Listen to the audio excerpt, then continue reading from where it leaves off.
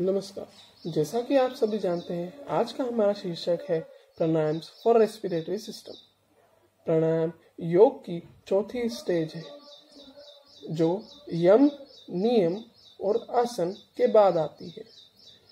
प्राणायाम मूलतः पद्मासन और सुखासन में किए जाते हैं। प्राणायाम करते समय हमें तीन बातों का अवश्य ध्यान रखना है। पहला पूरक अर्थात श्वास लेना, दूसरा रेचक अर्थात श्वास छोड़ना और चौथा कुंभक यानी श्वास रोके रखना। प्राणायाम कई तरह के होते हैं, जैसे अनुलोम विलोम, भ्रामरी, शीतली, शीतकारी, कपाल भाती, उज्जयी, सूर्य भेदन, अनेक प्रकार के प्राणायाम होते हैं।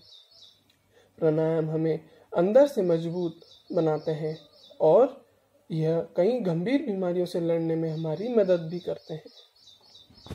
पहला है हमारा सूर्य भेदन इस प्राणायाम को करते समय नाक से सांस लेना है और मुँह से छोड़ना है।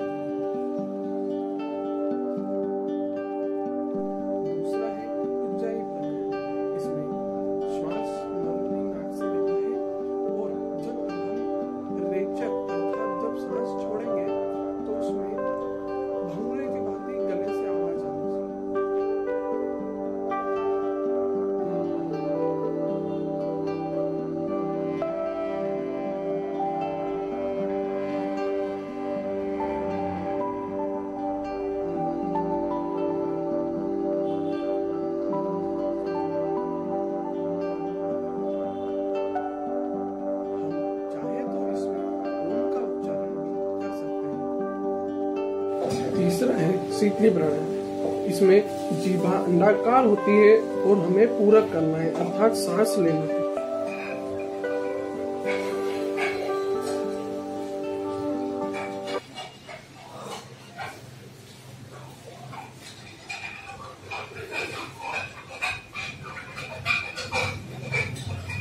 यह सूखी काशी अस्थमा अर्थात अनेकों रोगों से निजात दिलाती है।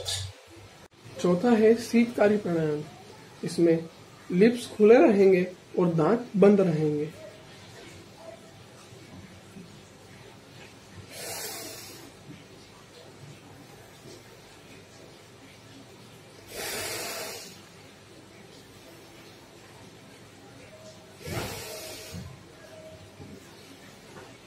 यह भी सूखी खांसी, अस्थमा और अनेक रोगों में निजात दिलाता है। पांचवा है कपाल भाती।